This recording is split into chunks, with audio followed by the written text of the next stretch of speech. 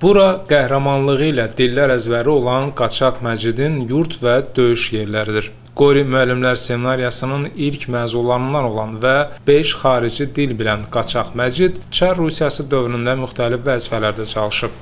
Müstəqillik dövründə 1918-20-ci illərdə isə Məhəmməd Əmin Rəsulzadəyə dəstək olaraq müstəqilliyimizin qurulmasında və qorunub saxlanılmasında bir çox xidmətləri olub. 1920-ci ildə Sovet Birliyi yaranan zaman isə o böyük təzyiqlərə baxmayaraq bolşeviklərə qarşı, xüsusilə də bolşevik adından istifadə edərək Azərbaycanlılara zülm edən daşnaq ermənilərə qarşı mübarizə aparıb. 1920-ci ildə artıq bolşeviklər hakimiyyəti ələ alaraq ölkəmizin hər bir yerində Sovetlər Birliyini qursa da, Qaçaq Məcidin bolşeviklərə və ermənilərə qarşı apardığı kəskin mübarizə səbəbindən Gədəbəy rayonunun Saratovka, Nova Ivanovka, Qızıl torpaq ərazilərində 1930-cu ilədək Sovet hakimiyyəti qurulmayıb. Bu gün Gədəbəy rayonunda xalq qəhrəmanı kimi tanınan Qaçaq Məcid yurt və döyüş yerlərində yaxınları tərəfindən anılıb.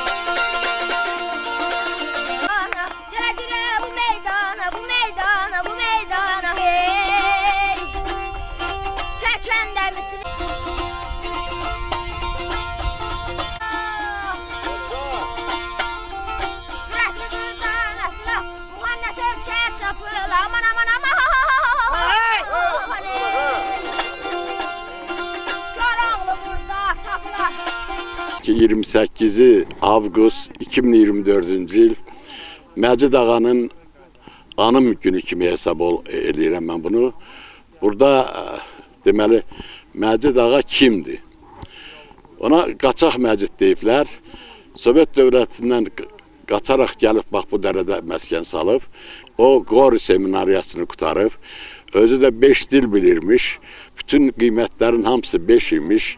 Onu buraya Gədəbəy göndər. Onlar 7 qardaş olublar. Yağublar nəsildirlər, Yaqublar.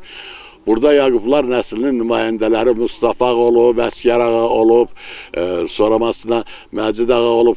Bunlar gəliblər, bax burada məskən salıblar. Amma Sovet dövləti gələndə 1920-ci ildə bunlar başlayıblar Sovet dövlətinin rusları buraya qoymamağa.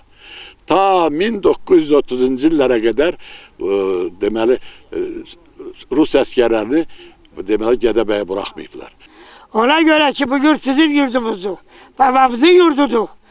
Allah onlara rəhmət eləsin.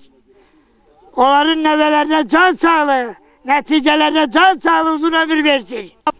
Kökümüz yabıqlıdır.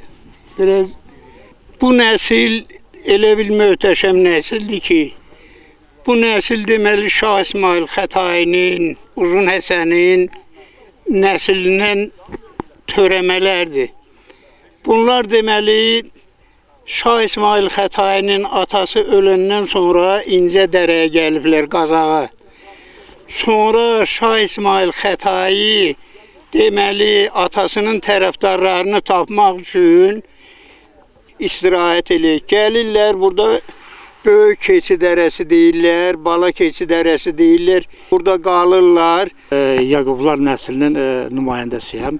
E, bu toplantını keçirməkdə məqsədimiz odur ki, gələcək nəsillər hamısı bir-birini tanısın, bir, bir, bir olaq və uzun müddət bu ənənəni qoruyub saxlayaq və babalarımızın ruhu şad olsun. Onların e, tarixə düşməyinə görə ənənəni e, daimi inşallah davam etdirməyə hazırıq. Etdirəcəyik də yəni. Təsi Gədəbəydə yox. Gəncəbasar ərazisində Gədəbəy, Toz, eyni zamanda keçmiş bu Qərbi Azərbaycan torpaqlarında, hal-hazırda Gürcüstanda Yağıflı, Yağıflı kəndi var. 1600-cü illərdə Həsən bəy ilk dəfə Təbrizdən gəlir. Gəncə ətrafında və Göyçə ətrafında mülklər olur. 1918-ci ildə nəslin ermənilərə qarşı mübarizəsi olub. Çünki demək Çar hökumətinin dağılmasından sonra bilirsiniz ki, milli azadlıq hərəkatı başlayır, dövlətlər qurulmağa başlayır. Həmən dövrdə daşnaqlar fürsətdən istifadə edərək, mərkəzi hakimiyyət olmaması istifadə edərək əhaliyə divan tutmağa başlayırlar və bu Xınna dərəsində Yaqublu dəstəsi ermənilərin qarşısını alır. Kəmran Əski Paralı, Rüfət Dağıyev, Səs TV, Gədəbəy.